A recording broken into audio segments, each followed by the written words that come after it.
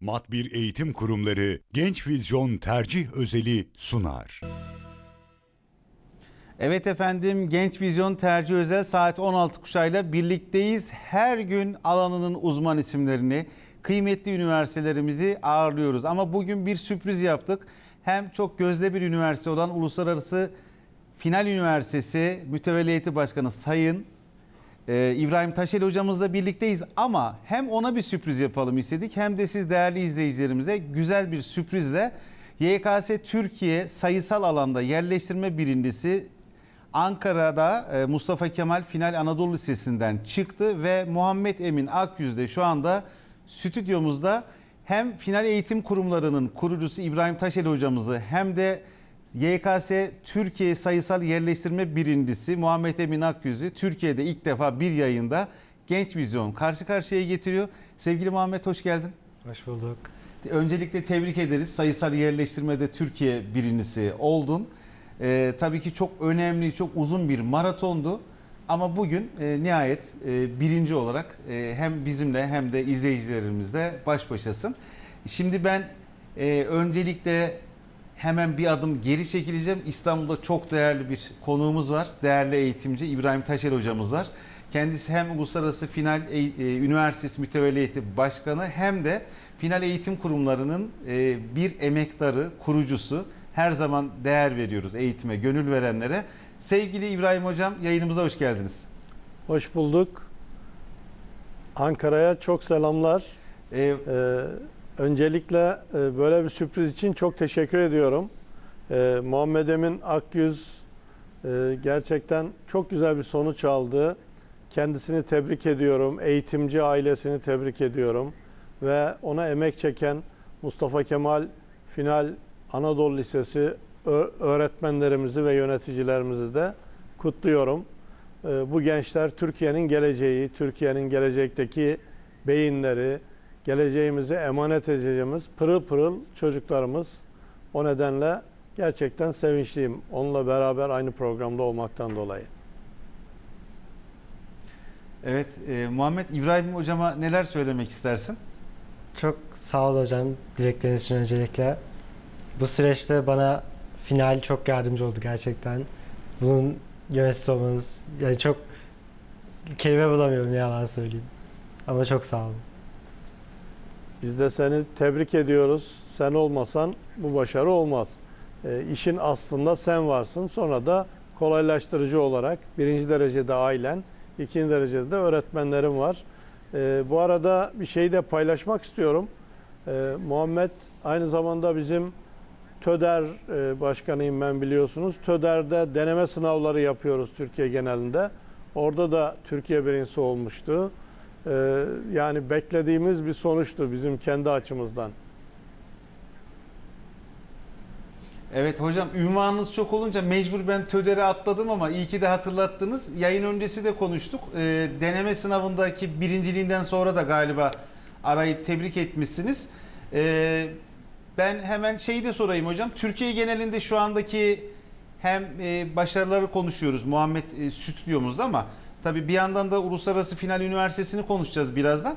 Ee, Muhammed'e neler söylemek isterseniz üniversite bölüm tercihlerinde, üniversite hayatında ya da final ailesiyle üniversite döneminde de yine birlikteliği devam edecek mi? Şimdi biz mezunlarımıza bir ömür boyu sahip çıkarız.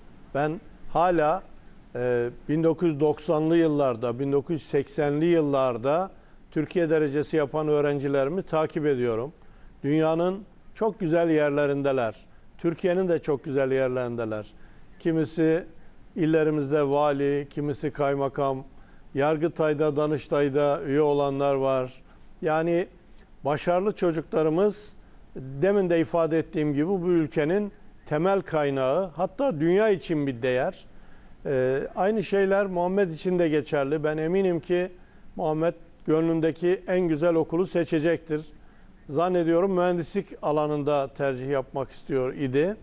Ee, kendisinden dinleyelim. Hangi tür tercihler yapmak istediğini isterseniz daha güzel olur. Evet. Tabii burada şimdi birinci olunca her yer açık. Çok fazla imkan var. Tabii mühendis yani sayısal öğrencisi için mühendislik ve tıp zaten hangisini seçecek konusunda. Ben mühendisliğe daha yakınım.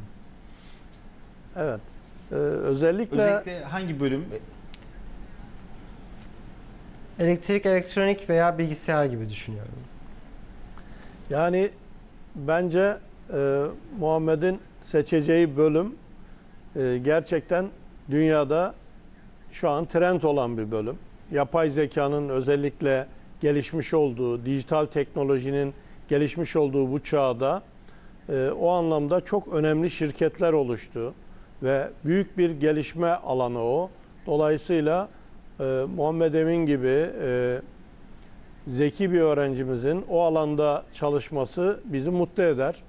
E, aynı tarzda 2000 yılının birincisi, 2000-2001 yılının birincisi e, bizim Emre Kacar diye bir öğrencimiz vardı. O da Bilkent'i bitirmişti. Ve o şu anda e, Microsoft'ta çalışıyor mesela. Apple'da çalıştı, Microsoft'ta çalışıyor. Yani dünyada en güzel firmaların içerisinde üst düzey yönetici olarak çalışıyor bu e, çocuklarımız. Ve yine bizim eski derece yapmış öğrencilerimizden mesela e, Bağcılar Şubesi'nden derece yapmış bir öğrencimiz vardı. O da kendine ait bir şirket oluşturmuş ve e, dünyaya teknoloji satıyor. Yani bu alan gerçekten önü açık bir alan. E, Muhammed Emin'in de seçeceği alanın kendisi için, ülkemiz için hayırlı olmasını diliyorum. Tabii üniversite tercihi de biraz hem ailenin e, isteklerini de dikkate alarak işte Ankara'da mı okumak istiyor, İstanbul'da mı ona göre inşallah güzel bir tercih yapar. E, biz de onun yaşam boyu arkasındayız. Yani ne zaman e, kariyeriyle ilgili bir e, ihtiyacı, isteği olursa biz destek oluruz. Final bir ekol zaten Türkiye'de. E, bugüne kadar 5 milyon 100 bin öğrenci geçti bu kurumlardan ve dünyada da Türkiye'de de onun gibi finalden geçmiş çok sayıda arkadaşı var. Evet Emin e, neler söylemek istersin hocamın açıklamalarına istinaden? Bir de tabii devamında e, 2025 YKS artık tercih sürecinden sonra e, başlayacak. E, aslında önümüzdeki yıl sınava girecek olan e, öğrenci arkadaşlarına da hangi mesajları verirsin? Özellikle senin yaptığın kendi çalışma planların, önerilerin varsa onları da senden almış olalım. Yani bu sınavın mantığı çok belli zaten. Çok çalışmak üzerine kurulmuş bir sınav. Yani kendinizi alıkoymayın. Çok kork yani çok çalışmanız lazım ve ne kadar çalışırsanız o kadar iyi. Özellikle Türkçe şu aralarda üst kısımlarda çok eleyici. Bu sene de öyleydi bence. Matematik aynı şekilde çok zordu bu sene. Bunları yapabildiğiniz kadar çalışmanız lazım. Bunun başka bir çözümü yok ne yazık ki. Peki hep ders çalışmak, çalışmak tabii dinlenmek, spor yapmak, kaliteli bir ders programı önemli ama e, Türkçenin altını çizdiğin için sormak istiyorum. Kitap okumayı ders çalışma programının neresine koyarsın Ben Muhammed? 11'in başında 12'nin yani erken kısımlarında sabah kalkıp kitap okuyordum. Gerçekten şahitlerim var. Sonra tabii mecbur uza- sonuna doğru bıraktım ama onun bana çok fayda ettiğini düşünüyorum yani. Özellikle hızlanma konusunda. İbrahim Hocam var mı ilavelerimiz? Az sonra Evet. Emine e, veda edeceğiz ama biz hızlı bir şekilde sohbetimize devam edeceğiz. Ben de Emin'in dediklerine katılıyorum. Okuduğunu anlamayı geliştirmek özellikle ders e, sınavlara hazırlanan öğrenciler için son derece önemli. Sadece Türkçe sorularında değil, diğer soruları da daha hızlı okuyabilmek ve soruların mantığını kavrayabilmek açısından çok okumak önemli. Özellikle e, son yıla bu işi bırakmakla olmuyor. Çok eski yıllardan itibaren e, düzenli bir şekilde kitap okuyan, e, okumaya zaman ayıran öğrenciler sınavlarda başarılı oluyor. E, bu anlamda e, aynen katılıyorum. Ayrıca çok çalışma gerektiren bir sınav olduğuna da katılıyorum. Yani ne kadar çok soru çözer, ne kadar çok egzersiz yaparsa öğrenci o kadar başarılı oluyor. Eminim ki Muhammed Emin de bu son iki sene içerisinde bu tarzda çok yoğun çalışmalar yaptı. Ee, Muhammed bir şeyi merak ediyorum. Genelde son dönemlerde öğrencilerin bazıları okullarından, kurslardan uzaklaşıp Ben online eğitim alayım, uzaktan öğreneyim. Yani burada öğretmenin rolü nedir desem sana? Sonuçta sen de karşında binlerce videolar çıkmıştır. Konu anlatımı, soru çözümü. Senin önceliğin hangisi oldu bu başarıda? Benim yani şanslıyım ki öğretmenlerim gerçekten çok iyiydi. Yani bizim okulda bırakan sayısı çok azdı. Son güne kadar her- tüm takım gelecekti yani. Garipti. Hani öğrenci bir tabii ama öğretmen çok önemli bir şey. Yani eğer öğretmeniniz iyiyse gelmeniz önemli bence. Kurumların buradaki o disiplini de tabii kendiliğinden ön plana çıkıyor. Ee, sevgili Muhammed, e, bir kere daha tebrik ediyoruz. İnşallah ileride başka başarılarına yine ekranlarımızda, programımızda olursun. Ben e, hem seni hem aileni hem de bütün öğretmenlerini ve Yeni Mahalle Mustafa Kemal Anadolu Lisesi'nin bütün e, yöneticilerini de tebrik ediyorum. Çok teşekkür ederim. Hocam. Ben de tekrar Evet sevgili tebrik izleyiciler, ediyorum. YKS sayısal e, yerleştirme Türkiye birincisi Muhammed Emin Akgüz konuğumuzdu. Kendisini e, uğurluyoruz stüdyomuzda. Bir kere daha tebrik ediyoruz. Şimdi İbrahim Taşeli Hocam Uluslararası Final Üniversitesi adına bugün tabii ki mütevelli heyeti başkanı olarak konuğumuz. Çünkü hali hazırda çok yoğun geçen bir tercih dönemi var. E, İbrahim Hocam öncelikle tercih dönemi resmen 25 Temmuz'da başlayacak olsa da aslında sonuçlar açıklanınca her zaman olduğu gibi öğrenciler, aileler sahaya iniyor, üniversiteleri araştırıyorlar. Sizin de Türkiye'nin tamamına yayılan bir rehberlik ekibiniz var profesyonel. Birçok bu çok büyük bir avantaj aileleri için. Genel anlamda bu yılki e, veli reflekslerini, öğrencilerin e, araştırmalarıyla ilgili neler söylersiniz? Böyle bir giriş yapalım. Buyurun lütfen. Evet, tercihler resmen 25'inde başlasa da şu anda öğrenciler harıl harıl girecekleri üniversiteleri ve bölümleri araştırıyorlar. Araştırmak da gerekli zaten. Çünkü ancak e, bir haftaya verilmiş kararları yerleştirmek sığıyor. Dolayısıyla bu araştırmalar son derece önemli diye düşünüyorum. E, tabii tercih süreci zor bir süreç. Yani beğendiğiniz iki okuldan birini ilk sıraya yazmak da önemli. Ya da gönlünüz istemediği halde puanınız yetmediği için yazmak zorunda olduğunuz bir bölüm de hangi sıraya yazayım diye düşünmek açısından çok önemli. Yani zor bir süreç, gergin bir süreç. Çünkü seçmek değerlerinden vazgeçmektir. Birçok okuldan vazgeçip bir tanesini, iki tanesini veya 24 tanesini seçiyorsunuz. Dolayısıyla tercih süreci oldukça önemli. Ben tercihlerde öğrencilerimize birinci derecede iç seslerini dinlemelerini öneriyorum. Yani bugüne kadar kazanmış oldukları bilgi, beceri, gözlemlemiş oldukları yetenek, yatkınlık, bütün bunlar aslında meslek tercihi konusunda son derece önemli. Yani düşünün ki siz istemediğiniz, iç sesinize uymayan bir okulu seçtiğiniz zaman bir ömrü heba etmiş oluyorsunuz. Sabah kalkıp işe giderken ayaklarınız geri geri gitmiş oluyor. Dolayısıyla e, seçeceğimiz okulun yaşamımızın bundan sonraki bölümüne etki edeceğini, mutluluğumuzun temel kaynağı olacağını ifade e, bilmemiz lazım. Dolayısıyla bizim birinci derecede öğrenciye her zaman söylediğim gönlünün sesini dinlemesi. Efendim benim puanım boşa gitmesin diye sadece puana dayalı bir sıralama yapmak her zaman pişmanlık doğurur ve doğru değildir. Önemli olan iç sesidir.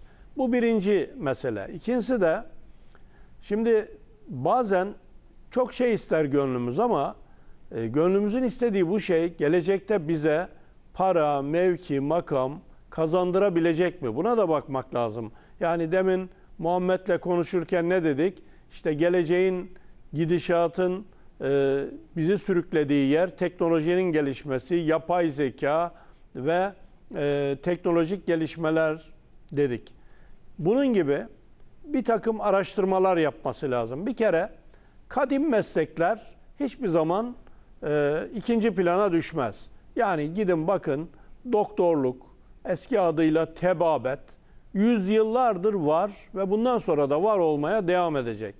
Hukuk sistemi bir devlette, kabile devletlerinde bile neredeyse var ve bu var olmaya devam edecek. Ya da işte e, sanayinin temeli olan mühendislikler bugün de var, yarın da var olacak. Yapay zeka belki bunların işini kolaylaştıracak.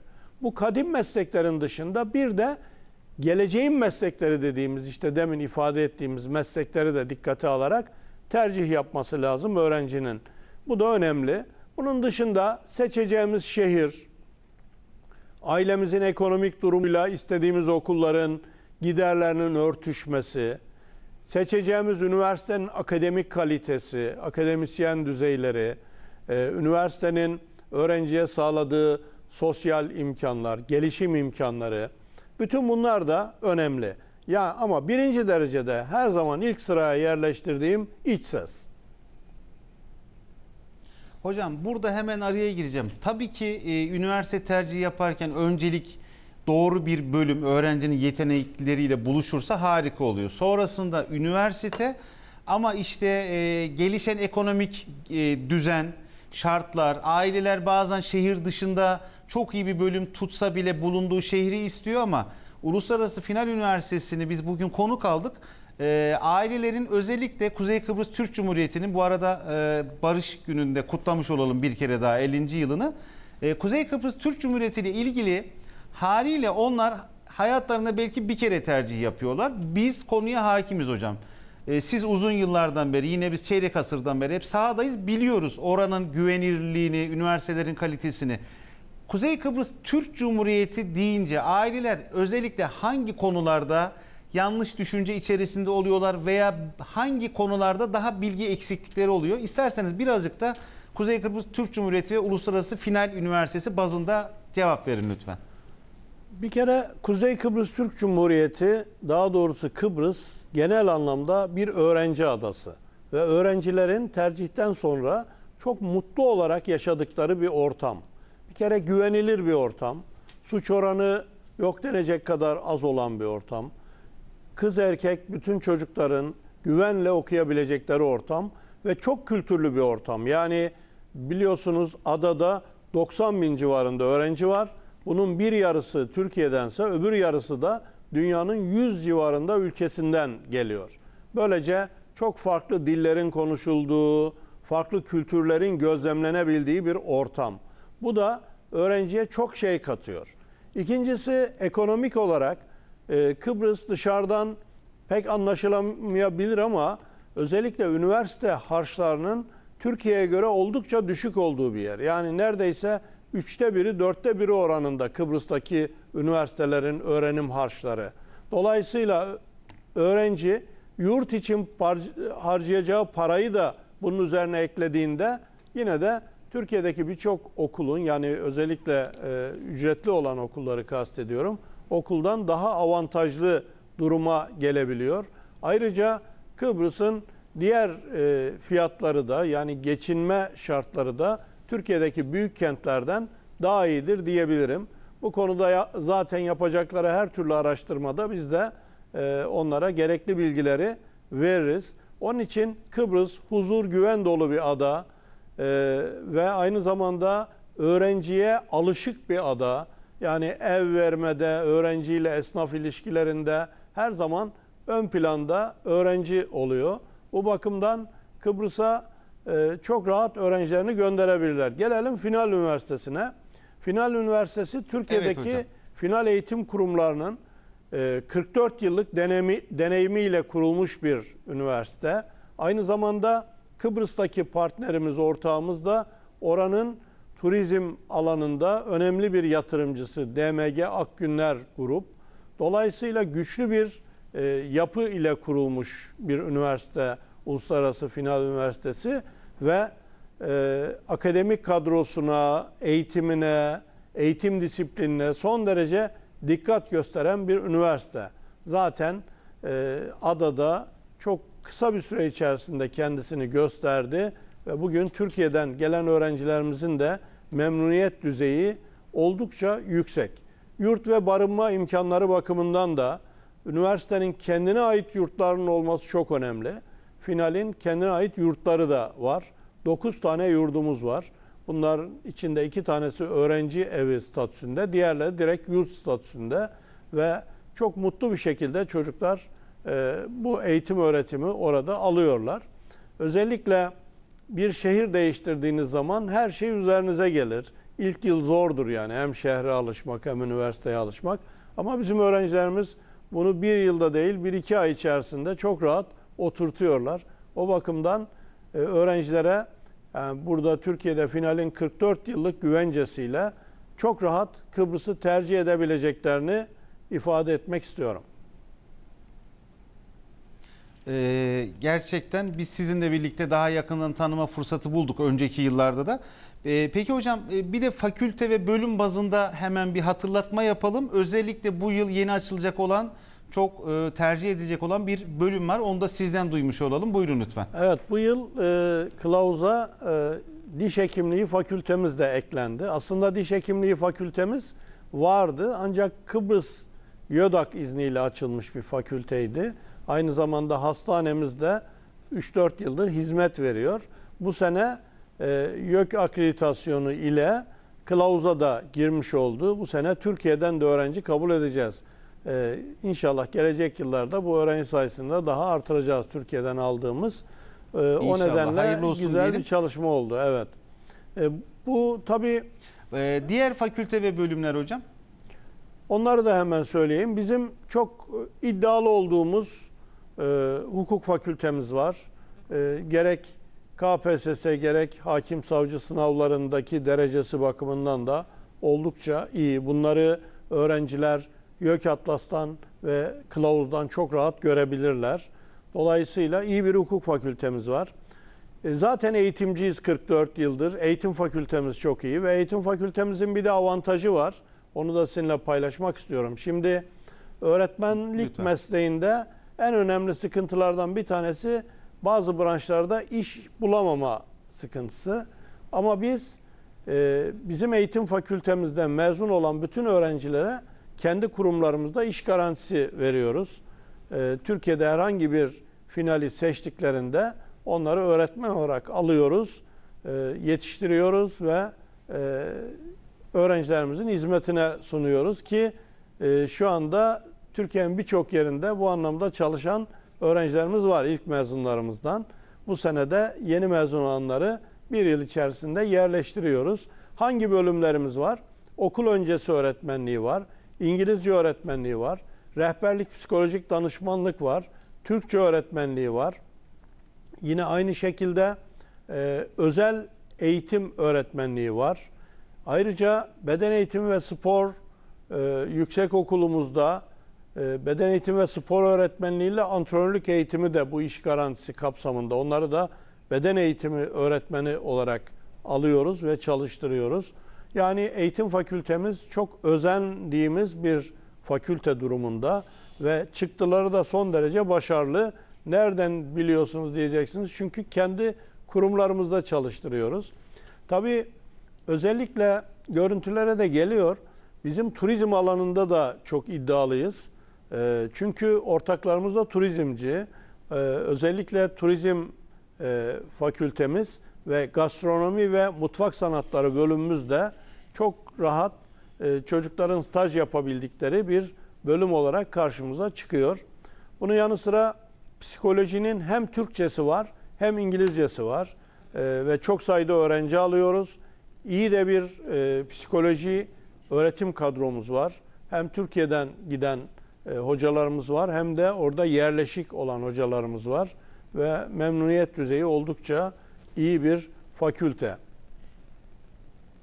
İbrahim Hocam size her zamanki gibi süre yetmeyecek. Ben bunu biliyordum ama son böyle bir 45 saniyede e, öğrencilere mesajlarınızı, ailelere mesajlarınızı alalım.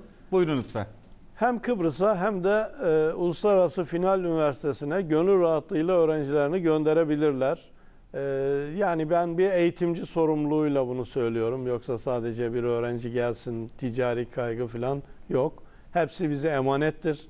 Onları sağ salim alırız, okuturuz, eğitiriz. Daha sonra da ailelerine ve ülkemize armağan ederiz. Bugüne kadar okuttuğumuz 5 milyon 100 bin gencin arasına artı olarak eklenirler. Çok teşekkür ederiz hocam. Ee, gerçekten bugün bir de e, yaş pastanın üzerine çileği e, Muhammed Emin Akgüz'ü de sizinle buluşturdu. Keyifli bir yayın oldu. Çok Başka teşekkür bir ederim programda onun yeniden için de. buluşmak dileğiyle hocam. Çok teşekkür ediyorum. Ee, rica ederiz hocam. Estağfurullah. Saygılar sunuyoruz. Başka bir programda birlikte olmak dileğiyle başarılar diliyorum. Evet efendim Genç Vizyon saat 16 tercih özel kuşağında Uluslararası Final Üniversitesi'ni e, bir eğitim gönüllüsü olan İbrahim Taşeli hocamızı ağırladık. Şimdi kısa bir ara veriyoruz. Aradan hemen sonra değerli iki konuğumuzla birlikte keyifli bir söyleşiyle yine sizlerleyiz. Evet efendim saat 16 kuşağı tercih özel genç vizyondasınız. Birinci bölümü bitirdik. Şimdi ikinci bölümdeyiz. Instagram bonus hocadan gelen sorularınızı da yine yanıtlıyoruz. Tabii ki bonus hoca ile birlikteyiz efendim. Biliyorsunuz bonus hoca her sabah saat 10'da Çankaya Üniversitesi'nde öğrencilerle ve ailelerle muhteşem bir seminerde buluşuyor. Devamında da birebir görüşmeler yapıyor. Kaçırmayın diyoruz. Bütün detayları hem sosyal medya hesabından hem de e, Bonus Hoca üzerinden de ulaşabilirsiniz dedikten sonra stüdyodaki konuklarıma dönüyorum. İlkay Erkol hocam Aydın Kurs Konya kurucusu hoş geldiniz hocam. Hoş bulduk hocam. Merhaba. Bir diğer konuğum da Harun Ünsal Aydın Kurs Yozgat Kurs Müdürü. Evet. Hoş geldiniz. Hoş bulduk. Ee, hem Konya'dan hem Yozgat'tan da aslında sıcağı sıcağına bir tercih süreciyle ilgili sizlerden önce bir genel durum nasıl öğrencilerin ilgisi sizle başlayalım hocam. Konya'da durum nasıl öğrenci ve ailelerin tercih dönemine bakışları? Ee, zorlu bir süreci atlattılar YKS sınavından sonra. Tabii heyecanlar çok yüksek. Ee, üstlerinde büyük bir stres var. Bu sürecin e, öğrencilerimiz ve sınava giren tüm öğrenciler adına da e, hayırlı bir süreç olmasını diliyorum. İnşallah. inşallah güzel bir şekilde istedikleri bölüme, istedikleri üniversiteye, istedikleri şehre yerleşebilirler öğrenciler. İnşallah az sonra tavsiyeleri alacağım Tamam. sizden. Değerli hocam Yozgat'ta durum nasıl? Genel intiba, öğrencilerin refleksleri. Asıl zorlu sınav şu anda başladı. Biz tercih döneminin her zaman sınavdan daha zor olduğunu biliyoruz. Bu yüzden mümkün olduğu kadar öğrencilerimizle tek tek irtibata geçip onları kuruma yönlendirdik ve en baştan beri üzerimize düşen her şeyi yapmaya başladık. Öğrencilerin tamamı e, biraz bu senenin handikapından dolayı, matematikten dolayı problem yaşadı ama bir taraftan da şöyle bir sıkıntı var. Muhtemelen gelecek sene e, zorlu bir yarış olacak tekrar. Çünkü mezunların kalitesi yükseldi diye düşünüyoruz. Değil mi? Mezuna bırakma oranı da aynı şekilde arttı. Aynen. O zaman şöyle gidelim. Peki 2024 YKS'yi birazcık daha e, detaylandırırsan, yorumlarsan hocam. Şimdi biraz önce söylediğim gibi e, matematikte öğrenciler beklemediği kadar zor bir soruyla karşılaştı. Üst düzey soruların sayısı fazlaydı. E, Birçok öğrencimiz aslında matematik yüzünden de kaybetti öyle söyleyeyim. Diğer branşlarda netlerinin yüksek olmasına rağmen matematik netleri beklediği gibi gelmedi. E, Aynı şekilde kimya bir sürpriz yaptı bu sene. Çok fazla soru zordu. Bununla beraber işlem yeteneği gerektiren çok fazla soru çıktı. Ama diğer branşlarda tek tük sadece eleyici soru vardı. Branşlar geçen seneye nispeten çok şey değildi yani zor değildi. Hocam sizin değerlendirmeniz. Yani ortalamalara da baktığımız zaman aslında bu senenin bir tık çok fazla değil ama bir tık olması e, gözlere çarpıyor. E, bu anlamda matematik ve kimya yapamayan özellikle sınav anında bu alanlarda zorlanan öğrenciler sınavın hem kontrolünü hem stres yönetimini ciddi anlamda kaybettiler. E, bu da tabii ki öğrencilere zor bir sınav gibi ilk hissiyatı verdi ama daha sonrasında sıralamaların gelmesiyle birlikte aslında geçen seneden daha yüksek ya da beklentilerinin daha fazlasında sıralamalara sahip olduklarını O gördüler. zaman buradan yola çıkarak bu yılki Aydın Kurs öğrencileri 2025 YKS yolculuğuna başlıyorlar. Onlara da öneriler alarak sohbetimize devam edelim. Ben şöyle düşünüyorum. eee, önümüzdeki yıl artık bence başlamış olması lazım. Startı vermiş olmaları lazım öğrencilerimizin. Eee, hem geçmiş yıllardaki eksikleri 9, 10, 11'deki konular çok önemli. Yaz tatili onlar için bir fırsat değil mi? Kesinlikle. Oradaki eee, hatırlamadıkları, işlemedikleri, anlamadıkları konuların hepsinin üstünden bir kez daha geçme fırsatı. Çünkü eee, okulları ve eğitim hayatları başladığı zaman tempoları çok artacak. Hiçbir zaman bu kadar vakit bulamayacaklar. Yani burada buldukları vakit onlar adına çok değerli ve kıymetli. Peki kurumlar olarak siz yaz tatilinde e, eksik tamamlama veya bu yolculuğun ilk adımları ile ilgili çalışma planları var mı? Kurgulandı Evet, mı? biz Haziran ayı itibariyle çalışmalarımıza başladık. Yeni kayıt yaptıran bütün öğrencilerimiz şu anda rehberlik hizmetini alıyor. Aynı zamanda nasıl ders çalışacağı konusunda alıyor. Bizde şimdi iki tane rehberlik sistemi var. İsterseniz biraz ondan Tabii bahsedeyim. buyurun. E, Bunlardan bir tanesi e, bizim öğrencilere haftalık yaptığımız terapi yöntemi. Bu tamamen ders dışı bir aktivite. Öğrenciyi rahatlatmak, işte öğrencinin o anki belki doğumunu ortadan kalkmak için. yapıyor? Rehber öğretmenimiz. Rehber öğretmen. Evet. Ee, ikinci bir rehberlik uygulaması da haftalık program. Biz yeni kayıt yaptıran dediğim gibi öğrencilerin birçoğuna zaten bu haftalık programlarını yaptık. Yaz yazı e, rahat geçirmeleri en azından gelecek sene söze- sezon başladığı zaman problem yaşamamaları adına şimdiden gayret göstermeye başladılar. Sizde durum nasıl hocam Konya'da? Konya'da gene aynı şekilde genel itibariyle e, Aydın Kurs kolektif bir şekilde çalışıyor. Yani Ankara'da, Yozgat'ta, Diyarbakır'da, e, Konya'da bütün okullarımız aynı sistem üzerinden gidiyoruz. E, Ağustos'un ikinci haftası itibariyle e, sınav grubu öğrencilerimizle startı vereceğiz. Tam anlamıyla e, yoğun bir maraton bizleri bekliyor. Çünkü süreç hızlı ve erken hazırlanıp bir an önce o ilk telaşı üstümüzden atmak istiyoruz. Ee, çocuklarımıza yaz ödevlerini aldılar. Onları bitiriyorlar. Rehber öğretmenlerinin kendilerine özel hazırladıkları programlarla çalışıyorlar. Ee, Ağustos'un ikinci haftası itibariyle de öğretmenleriyle, kurumlarıyla tekrardan kavuşacaklar. Olacaklar. Evet. Ee, peki tercih süreciyle ilgili böyle hem deneyimli isimlersiniz. Ee, mezuna bırakmakla bırakmamak normalde çok tartışılmazdı ama 2024 YKS tercih sürecinde mezuna bırakayım refleksi sanki birazcık daha arttı gibi. Her ikinizden de cevap alayım hocam. Mezuna hangi öğrenciler bırakmalı ya da bırakmamalı? Bunun kararını birazcık daha e, uzmanlar yani e, kurumlar verse çok daha iyi olur. Çünkü veli bu konuda farklı bir refleks gösteriyor. Yani e, öğrencinin başarısını biz takip ediyoruz. Öğrencinin nasıl bir çalışma disiplinine sahip olduğunu biz biliyoruz. Dolayısıyla bazı öğrenciler bu sene e, bir handikap yaşadılar. Dolayısıyla bunun gelecek sene telafisini çok yapacağına inandığımız öğrencilere biz bir bakıma teşvik ediyoruz. Bizce e, bu sene biraz aralık geniş olacak diye düşünüyorum. E, 100 binin altına kalan öğrencilerin mezuna bırakmasını hatta geçen senelerde 10 binde mezuna bırakan öğrencilerimiz vardı. E, çalışma disiplini konusunda bizim güvence verdiğimiz her öğrencinin mezuna kalması bu sene gayet mantıklı olacak. gibi Mantıklı görünüyor. olacak. Evet. Siz ne dersiniz hocam? Ben de diğer bir taraftan bakayım. Öğrenci tarafından bakacak olursam hayal ettiği üniversiteye ulaşamamış bir öğrenci e, hayalleri için bir yıl daha hazırlanması bence bir kayıp değildir. Ama burada yapması gereken bazı e, kurallar var. Kesinlikle onları yapabilecekse e, bu yola çıkması lazım. Bu yola çıkmadan önce de diğer bölümleri de kesinlikle bir araştırma yapması lazım. Yani sadece bir bölüme takılarak e, ben bu bölümü istiyordum ve gelmedi. Seneye bir kez daha hazırlanacağım değil de diğer bölümler hakkında da en azından fikir sahibi olarak yerleşebileceği üniversitelere, bölümlere bir kez daha bakmalarını öneriyorum. Çünkü e, bu süreç en az bu yılki kadar zorlu olacak önümüzdeki yılda.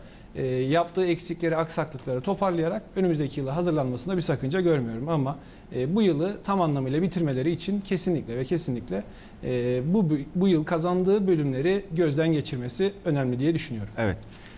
Teşekkür ederim. Ee, peki tercih analizi, tercih stratejisi muhakkak her kurum, her öğrenci zaten bu doğruların peşinde. Ee, bu 24 adet tercihi yaparken sizin tecrübeleriniz, öğrenciler 25'inden itibaren hangi mantıkla, hangi logaritmayla tercihlerini yapsınlar diye sormuş olayım. Ben e, biraz sayısal bir örnek vermiş olayım. 50 bin sıralama yapan bir öğrencinin e, bence 3 aşamalı bir tercih kağıdı olması lazım. 24 tercihini 3 aşamadan itibaren doldurması lazım. Birincisi ilk sıralarda yüksek puanlı tercihler. Yani bunlar neler? 25 bin, 30 bin, 35 bin bandındaki üniversitelere ben yerleşmem, ben bu üniversitelerin altındayım düşüncesine kapılmadan tercih sıralamalarını yapmaları gerekir. İkinci aşama olarak da e, kendi yerleşebilecekleri yakın üniversiteleri. E, bu 40 bin, e, 60 bin bandındaki üniversiteleri çok iyi bir şekilde sıralamaları lazım. Daha sonra mezuna kalmak istemiyorsa eğer öğrenci arka tarafta da garantiye alabilecekleri 3. bölümü oluşturmaları lazım. Bu da 60 binden sonraki bölümler. Yalnız bunları oluştururken şuna çok dikkat etmeleri lazım.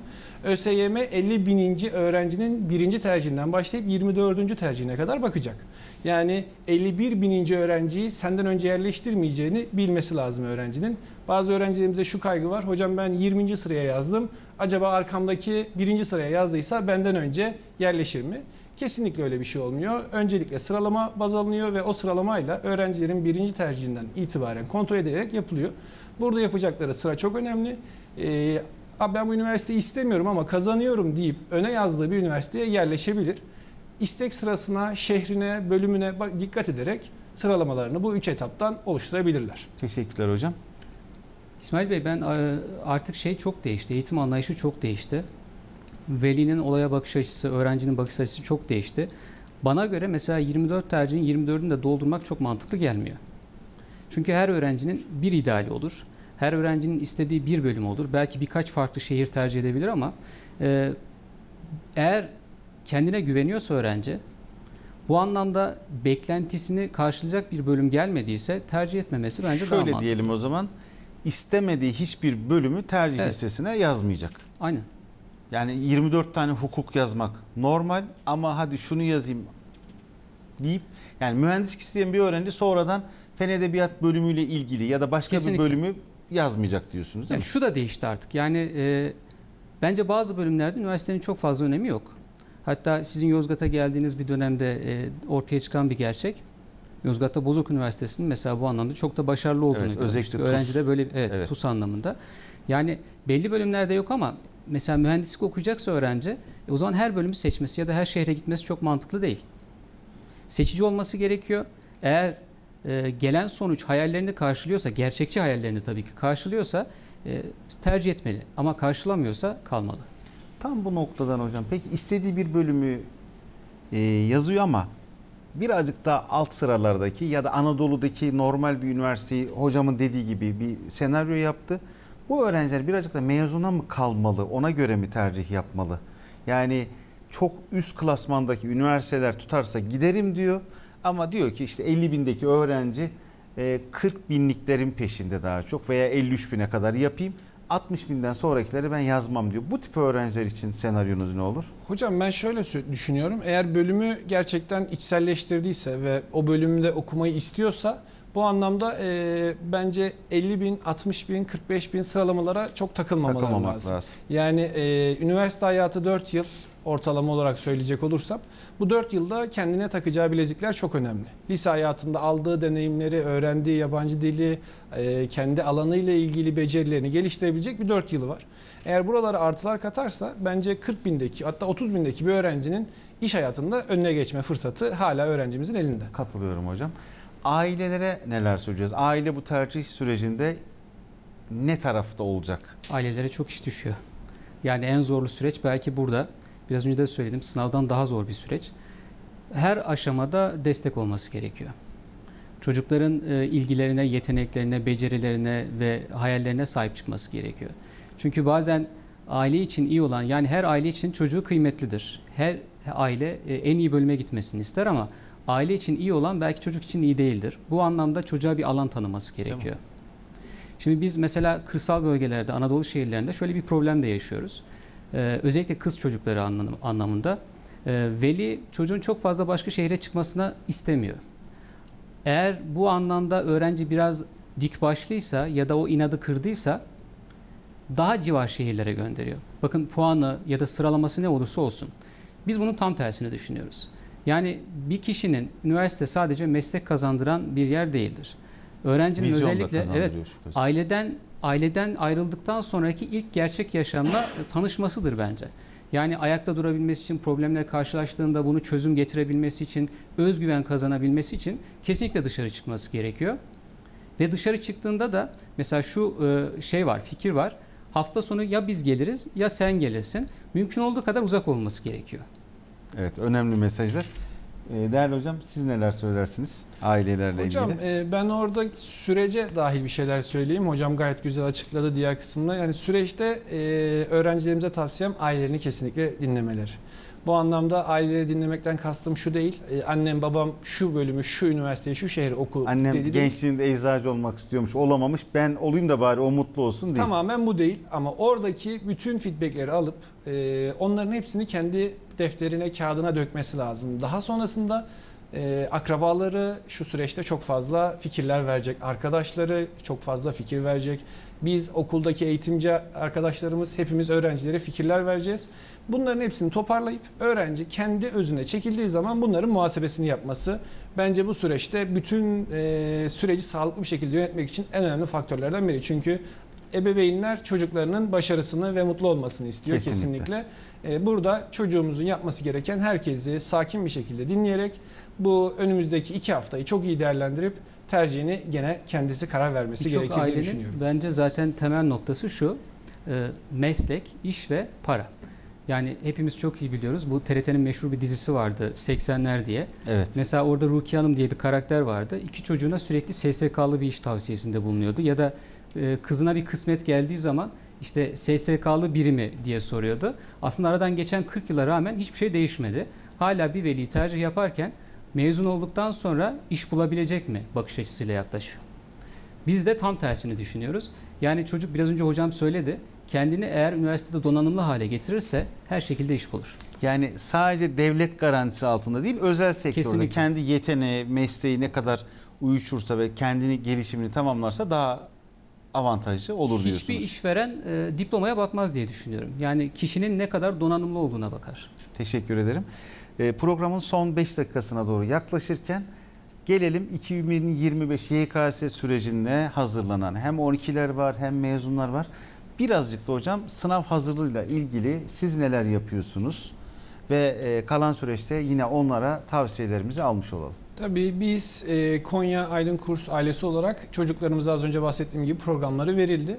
E, çocuklarımız bu programlar aslında benim şahsi görüşme hepsiyle birebir yaptığım görüşmede 8 saat kuralını söyledim.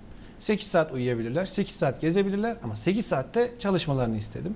E, hepsine sanki bir işe girmişsiniz gibi kendinizi düşünün. Sabah 10'da mesainizi başlatın, akşam 7'de mesainizi bitirin. Ondan sonraki hayatınız sizin hayatınız olsun şeklinde bir yaklaşımım var. Çünkü ben e, bu süreçte en önemli faktörün öğrencinin yaptığı bireysel çalışma olduğunu düşünüyorum. Bu bireysel çalışmayı ne kadar verimli yaparsa hem kurumlarından aldığı hem okulundan hem dershanesinden aldığı başarı da o ölçüde ilerlemesini sağlayacaktır. E, nacizane tavsiyem e, çocuklarıma 9, 10 ve 11 konularını çok iyi bir şekilde çalışmaları, önündeki yeni konulara değil, geçmişteki yaptığı ve işlediği konuların üstünden geçerek hatırlamadığı yerleri hatırlaması, notlarını temizlemesi. 12. sınıf konularını biz zaten kurumlarımızda e, Ağustos itibariyle tekrardan anlatmaya başlayacağız. E, Nesip Aydın ailesi olarak e, biz zaten 9, 10, 11 konuların hepsini içeren e, 12. sınıf YKS sürecimizi başlatıyoruz. E, bu süreçte de bizim öğrencilerimiz Ağustos ayı itibariyle başladıkları programda ta ki Mayıs'a kadar süren sürecimizde bunların hepsini görecekler ve daha sonra da sınav programları başlayacak. Artık start onlar için verildi. Hepsine başarılar diliyorum İnşallah hocam. süreçte. Teşekkür ederiz. Hocam Aydın kurs olarak aynı süreci biz de şu şekilde başlattık. Hem tercih anlamında hem de yeni öğrencilere bir e, yönlendirme açısından. Üç tane tercih masası kurduk Yozgat'ta. Bunlardan bir tanesi Yozgat Şehir Meydanı'nda. E, isteyen bütün öğrencilerin ve velilerin ücretsiz bir şekilde gelip bilgi alabileceği, e, mezuna kalacaksa da gelecek sene adına fikir alabileceği bir masa. İkincisi kurum içinde. Yine e, kendi öğrencilerimize başta olmak üzere gelen misafirlerimize yardımcı olabileceğimiz bir masa. Üçüncüsü de bizim gidemediğimiz ya da onların gelemediği e, veliler veya öğrenciler için telefonla e, kurumun telefonundan bize ulaşabileceği, bilgi alabilecekleri bir masa kurduk. yani bir Bu- nevi sosyal sorumluluk projesi Aynen. tarzında bir yaklaşım. Tebrik ederim. Yozgat'ta bu ilk de hatta geçen sizde de benzer bir şey gördüm. Evet. E, aynı şekilde devam ediyor. Çok da e, güzel bir şey aldı, tepki aldı bu anlamda. Şimdi e, sürecin aslında ne kadar zor olduğunu şöyle söyleyeyim ben size. E, mesela sayısal alandan sınava girecek bir öğrenci için 5 tane ana ders var. Matematik, geometri, fizik, kimya, biyoloji ve bunlardan toplam 175 tane konu var. Ben konu dedim ama mesela fizikteki optik bir konu değil. Aslında bir ünite ve içerisinde 7 tane konu barındırıyor. Bunları da biraz detaylandırırsanız eğer 250'ye yakın konudan bahsediyoruz. 1 Ağustos itibariyle derse çalışmaya başlayacak bir öğrencinin 300 günü var. 300 gün ve 250 Günde, tane evet, konu. neredeyse günde bir Evet. konuya düşüyor. Ve bunları işleyecek, benimseyecek, e, soru çözecek, pekiştirecek. Bu gerçekten zorlu bir süreç. Yani bir an önce her öğrencinin baş- başlaması gerekiyor. Bizim tavsiyemiz burada e, mümkün olduğu kadar programlı çalışması gerekiyor. Biz mesela kendi kurumlarımızda akademik bir takvim oluşturuyoruz. Kalan Yıllık- sürede o zaman siz devam edin. Rehberlik takviyesini de hemen Evet, gündeme getirelim. Yıllık, e, aylık, haftalık programlar yapıyoruz. Aynı şekilde öğrencinin de e, ilerlemesinin nerede olduğunu görmesi gerekiyor. Eksik bırakmadan ilerlemesi gerekiyor. Belli aralıklarda sürekli geçmişi tekrar etmesi gerekiyor. Aynı zamanda bu geçmişi tekrar ederken gelecekle de ilgili karşılaşabileceği problemlerde destek alması gerekiyor. Tebrik ederiz valla. Sizde durum hocam hem rehberlik hizmetleri hem de rehberliğin önemini de sizden alalım. Hocam kesinlikle bu süreçte e, bir matematik bir fizik kadar önemli olduğunu düşünüyorum. Sınav e, ne kadar bilgiye dayalı bir sınav da olsa psikolojisini yönetemeyen bir öğrenci bildiklerini aktaramıyor. Burada rehberlik birimine çok ciddi bir iş düşmekte. E, biz e, akademik görüşmelerimizin yanı sıra rehber öğretmenlerimiz psikolojik danışmanlık da yapıyor öğrencilerimize. E, gitmeden önce yaptıkları program sonrasında da şu anda ayda bir öğrencilerimizle görüşüp ne durumda olduklarını, nasıl ilerlediklerini, desteğe ihtiyaçları olan öğrencilerimizi kurslarımıza davet ederek e, gerekli takviye ve destekleri kursumuzda öğrencilerimize veriyoruz. E, bu süreçte onların yapmış olduğu plan ve programların gerekiyorsa revizyonları e, rehber öğretmenlerimiz tarafından yapılıyor ya da artırımları. Öğrencinin performansı doğrultusunda öğrenciyle birlikte kolektif şekilde hareket ediyorlar. Katkılarınız için çok teşekkür ederiz. Teşekkür ederiz. Bir başka programda inşallah yine buluşacağız. Ee, hem e, Konya'ya hem e, Yozgat'a da gerçekten eğitime katkılar için teşekkür ediyoruz. Biz teşekkür ederiz. Efendim Aydın Kurs e, Konya kurs kurucusu sevgili İlkay Erkol hocamla ve Aydın Kurs Yozgat kurs müdürü Harun Ünsal hocamla birlikteydik. YKS tercih sürecini değerlendirmesini ve 2025 YKS'yi de konuşuyor olduk. Şimdi hemen Bonus hocamın sosyal sorumluluk projesi biliyorsunuz Çankaya Üniversitesi'nde 28 Temmuz tarihine kadar her sabah saat 10'da Çankaya Üniversitesi'nde harika bir seminer saat 10'da. Seminerin sonrasında ve öncesinde özellikle sonrasında demeyeyim ama öncesinde birebir görüşmeler var. Muhakkak sosyal medya hesaplarımızdan ulaşınız diyorum ve saat 17 kuşağında Genç Vizyon programında yeniden buluşmak dileğiyle bekliyoruz efendim sizleri. Mat 1 Eğitim Kurumları Genç Vizyon Tercih Özeli sundu. Daha fazla video izlemek için kanalımıza abone olabilir, ilk izleyen olmak isterseniz bildirimleri açabilirsiniz.